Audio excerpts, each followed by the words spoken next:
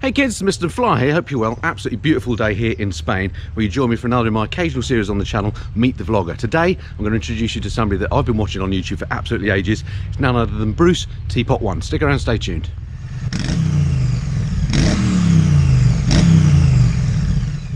Excellent. So here I am with Bruce, none other than Teapot One. Thanks very much, Bruce, for coming along, and uh, thank you for agreeing to talk to me here on MTV. Meet the Vlogger.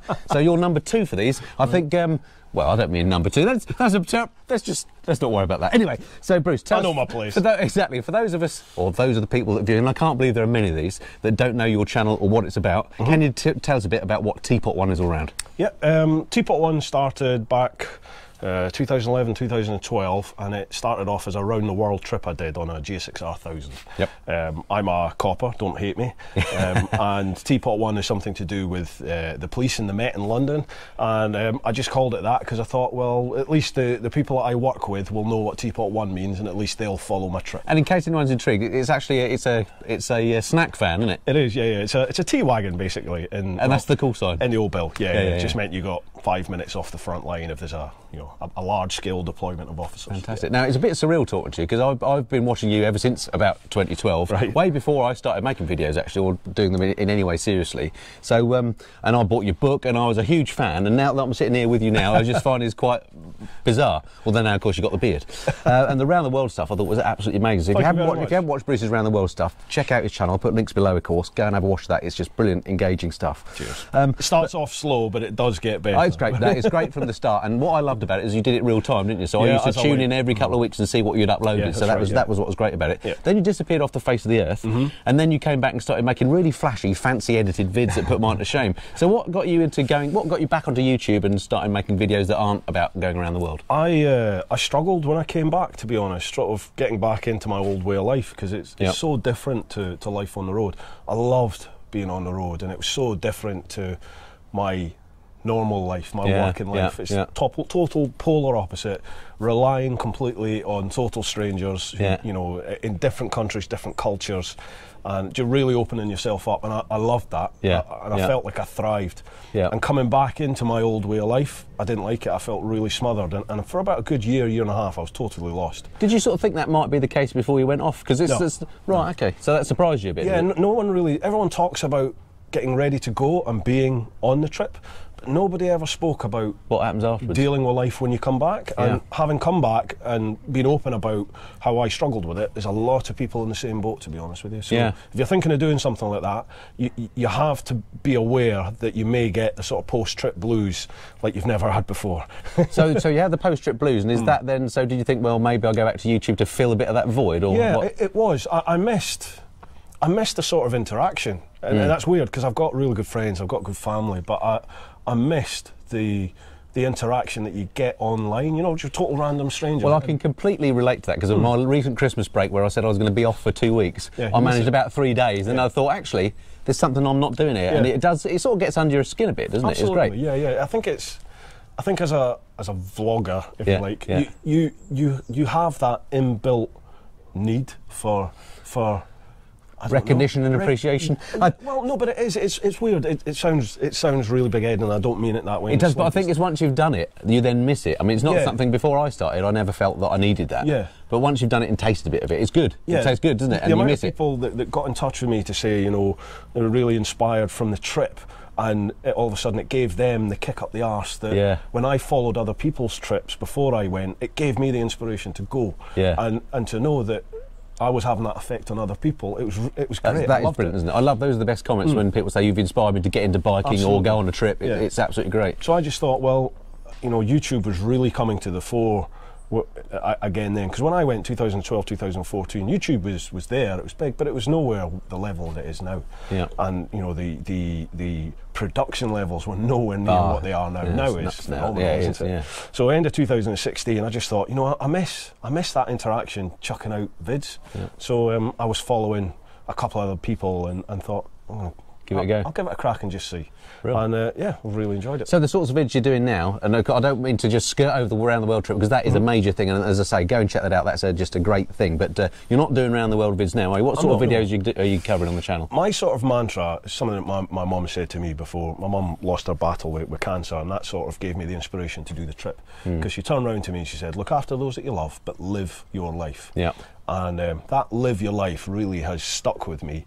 And, um, you know, you, you don't need to bugger off around the world to, to, you know, to live your life. It's just a question of everyone has to work, everyone's got to pay bills, everyone's got to pay mortgages. Yeah. But the time that you get away from that day job, you've got to make the most of it. Yeah, yeah, Otherwise, yeah. you know, for me, for me personally, what's the point?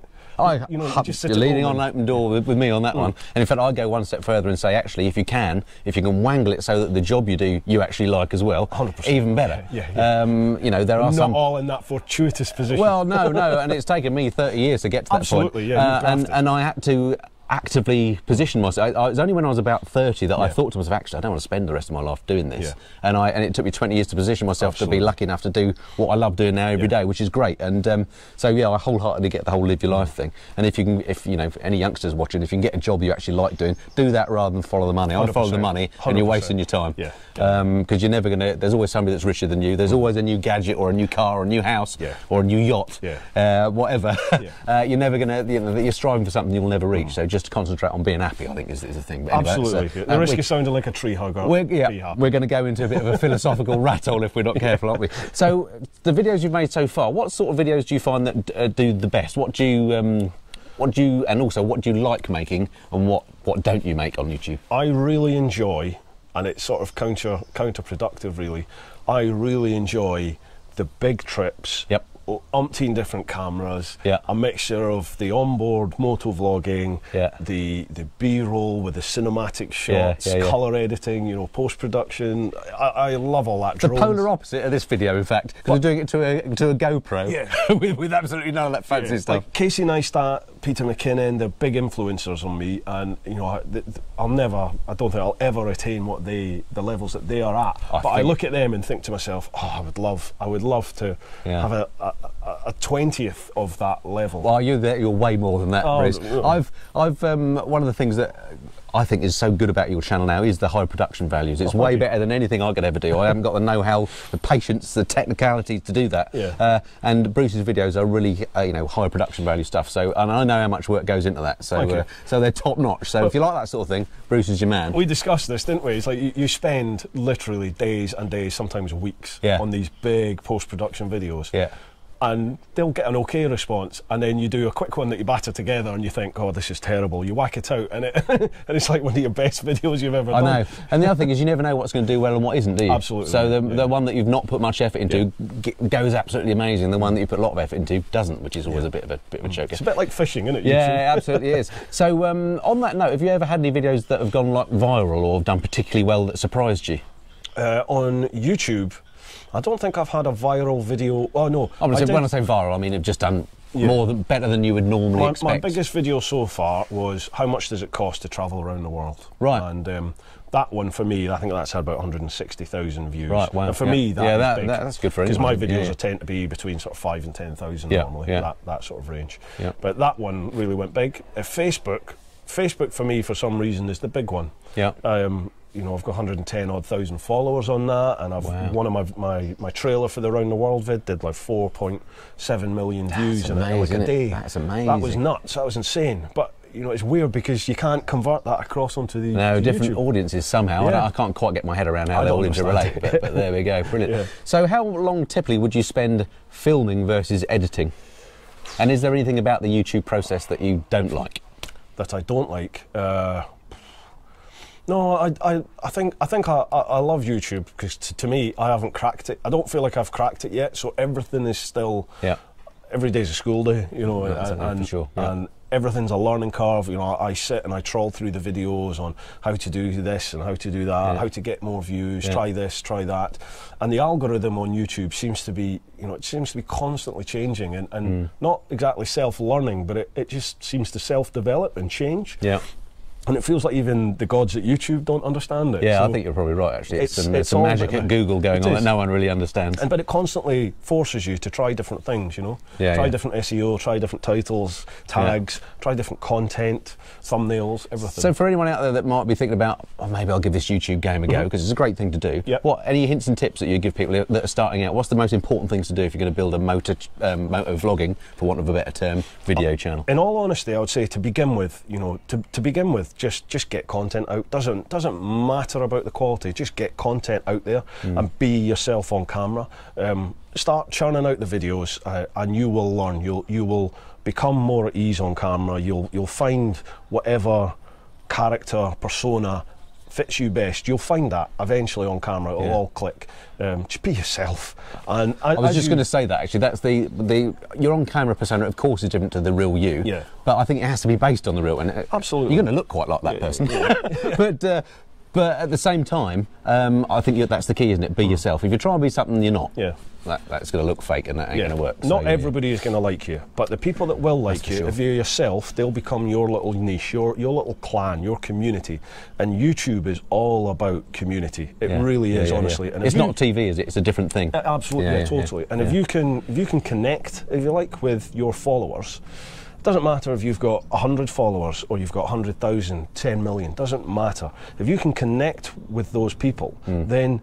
y- y- You know, for me, you've, you've, you've done it. You've got it anyway. You, eh, don't get into YouTube thinking you're going to get rich. No, just just, that just don't. There are people that get rich. Yeah, but, they're the unusual ones. Absolutely, yeah. Yeah, just yeah. you've to be a success at it, you've got to love it. You've really got to enjoy it, and it is hard graft. Don't think it's easy. It is hard. so, what's the future for the for the Teapot One channel then?